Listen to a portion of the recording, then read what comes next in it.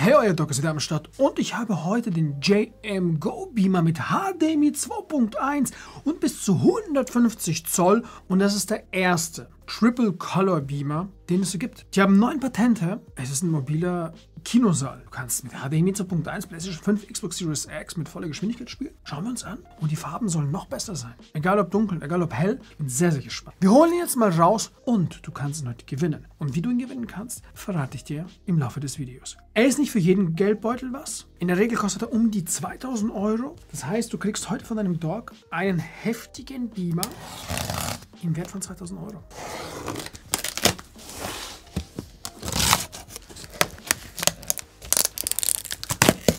Das ist krass. Als ob du eine DJI-Drohne auspackst. Schau dir mal das an. Das Ding in einem Case geliefert. Das ist halt das Coole. Das Ding kannst du aufbauen, aufräumen, mitnehmen. Oh, schau dir mal. Fang mal. Schau dir die Verpackung an. Wir haben hier Android TV. Das ist richtig cool. Dolby Audio, Bluetooth, DTS HD. Mhm. Nichts geht ohne mein Skalpell.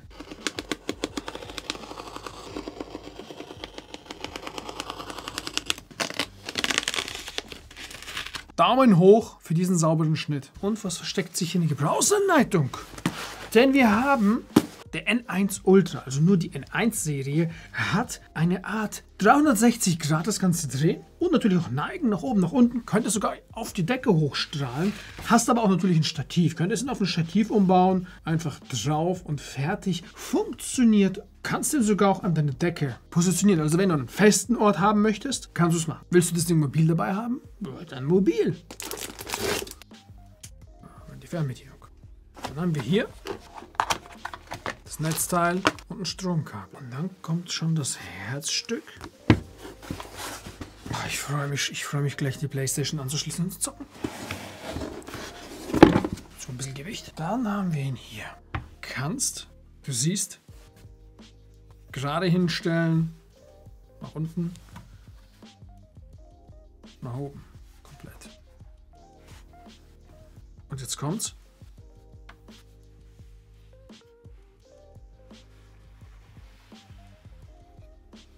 Lässt sich komplett um 360 Grad drehen. Du hast nämlich hier unten. Diesen Gummistandfuß und der dreht sich. Dann hast du hier Lautsprecher verbaut, Dyn Audio, hören wir uns gleich an.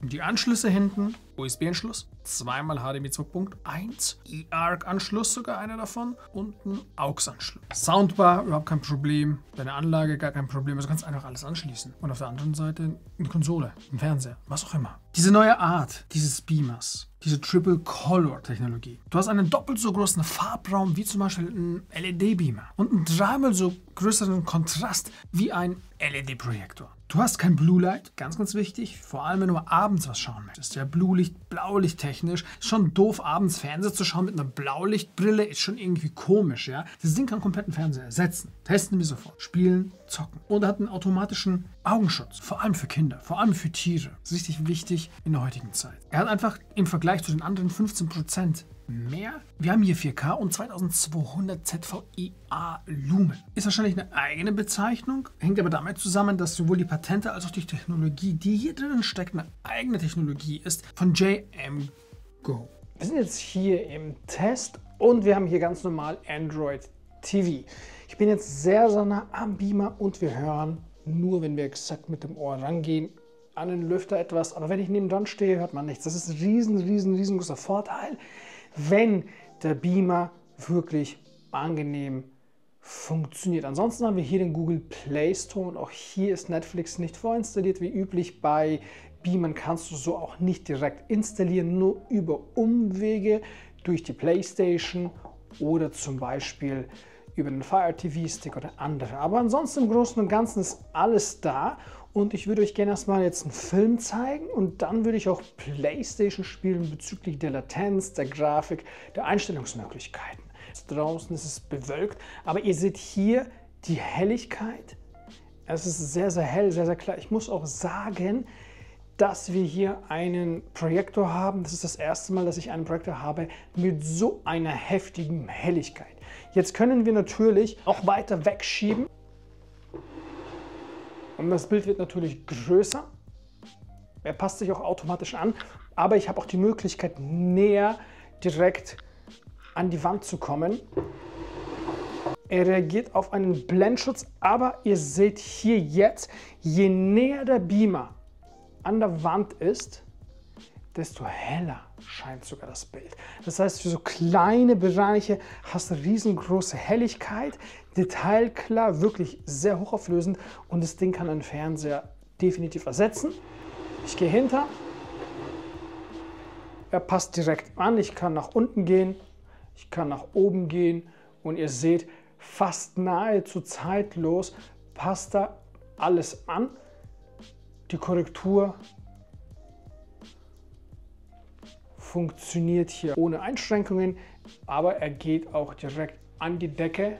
Wir ziehen mal raus. An der Decke ohne irgendwelche Einschränkungen funktioniert und haben hier natürlich wieder die Möglichkeit, durch diesen Standfuß wir halt einfach fast zeitgleich uns das Bild nachkorrigiert und anpasst. Auf jeden Fall ein sehr, sehr heller Beamer. Selbst wenn wir jetzt die Wand bestrahlen, ihr müsst ihr mal vorstellen, wir sind hier an einer weißen Wand, wir haben jetzt keine Beamerleinwand und ich mache das Licht komplett im Raum an und wir haben trotzdem die Möglichkeit, hier weiterzuschauen. Natürlich nicht zu vergleichen in einem dunklen Raum, aber ihr seht, selbst wenn der Raum komplett hell ist, ist es auf jeden Fall eine coole, coole Geschichte. Das ist mein erster Eindruck, finde ich richtig cool. Das Ding lief jetzt auch eine Weile und wir hören die Lüfter der Playstation fangen an zu arbeiten und der Beamer bleibt weiterhin leiser. Dann machen wir direkt mal den Soundtest. Jetzt hat er auf Full HD umgeschaltet. Die Frage ist, wieso VRR nicht unterstützt? HDR wird unterstützt bis 120 Hertz. HDR unterstützt VRR. Auch hier haben wir die Möglichkeit, das Ganze zu nutzen. Ich weiß nicht, wieso er Spider-Man auf Full HD macht. Dennoch machen wir jetzt mal den Sound an und testen. Das ist wirklich der einzige Punkt mit der Auflösung. Eine Einstellungssache höchstwahrscheinlich, weil der Support ist ja da. Und wir können ohne Einschränkungen spielen. Das Bild schaut wunderschön aus.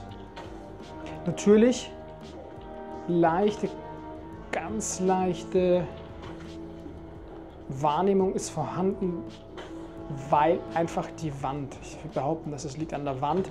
Wenn wir hier nochmal eine Leinwand hätten, würde das Ganze nochmal besser und klarer ausschauen. Und zur Latenz switchen wir jetzt nochmal hierher. Ist im Vergleich zu anderen Beamern definitiv, was habe ich auf dem Fernseher spielen. Wenn, dann ist das so minimal, dass man kaum einen Unterschied merkt. Je nachdem, was für ein Fernsehgerät du hast, aber unterscheidet sich sicherlich nicht von 80, 90 Prozent der Fernsehgeräte draußen. Sicherlich, wenn es nochmal einen Gaming-Modus gibt bei den Fernsehgeräten, da holt dann nochmal einiges raus, genauso wie der VRR-Modus. Aber ich sag dir eins, wenn du jetzt nicht gerade ein ESL-Spieler bist, wirst du die Latenz nicht wahrnehmen. Also COD definitiv Okay, ganz ehrlich, merkst du im Fernseher nichts. Sound ist gut. Ich sag dir eins, ohne Probleme. Easy. Also normalerweise empfehle ich Beamer nicht für so COD-Spiele. Aber durch das HDMI 2.1 ist das alles hier kein Problem.